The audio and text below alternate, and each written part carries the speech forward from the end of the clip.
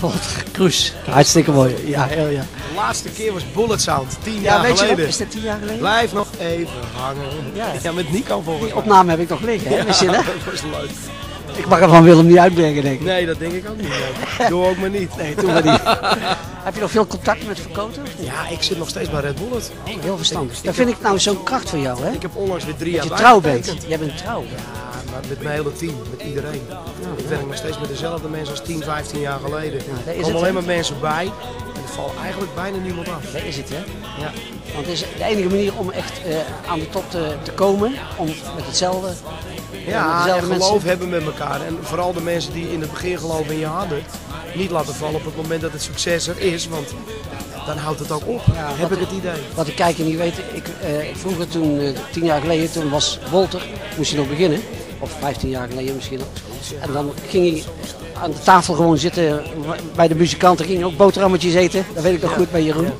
En zo is dat toch langzamerhand eh gegroeid naar een vertrouwensbasis. Want daar draait alles om.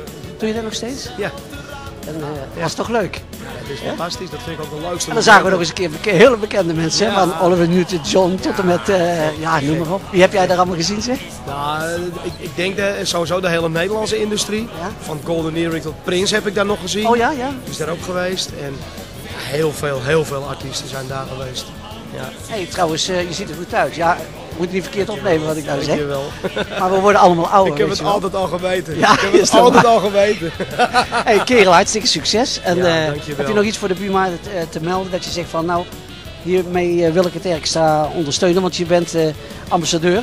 Ja, wat ik heel belangrijk vind en waarom ik ambassadeur ben geworden, dat is vooral dat we ervoor moeten zorgen dat het Nederlandstalig repertoire nu wel daar blijft waar het nu is. Ja. Populair, want dat is het nu.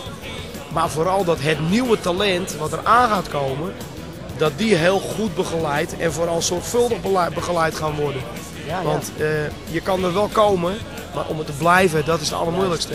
En we leven nu een beetje in een hype-tijd. Dat je wordt met, met grote shows word je in één keer gebracht. ja. Alleen hoe ziet het er over twee jaar uit, of over een jaar? En ik denk dat die begeleiding juist voor dat soort artiesten heel belangrijk is. Dus dat is eigenlijk de tip voor de nieuw, nieuwkomer in dit eh, genre, in, eh, in de showbusiness. Ja, kijk goed Jouw uit. tip, kijk goed uit. Kijk goed uit met wie je in zee gaat. En, eh, en neem vooral wel iemand achter je die op lange termijn met je wil werken. Ja, ja. En niet die, eh, die binnen een jaar zijn zakken wil vullen en daarna er weer mee stopt en weer naar de volgende toe gaat. Want, want dat, vind ik, dat vind ik heel sneu met die nieuwe artiesten die dan in één keer heel beroemd zijn.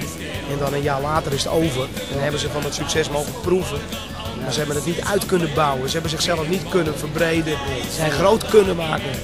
Er zijn maar een handjevol artiesten die eh, dan toch eh, de adem hebben om, eh, en de moed om dit vol is te zo mooi dit vak, want je bent met muziek bezig en je bent nooit uitgeleerd in dit vak. Als artiest ook niet. Je, er komen steeds weer uitdagingen op op je pad. Ja, zeker. Nou, Wat leuk je weer gezien Mooi? Top, top, top.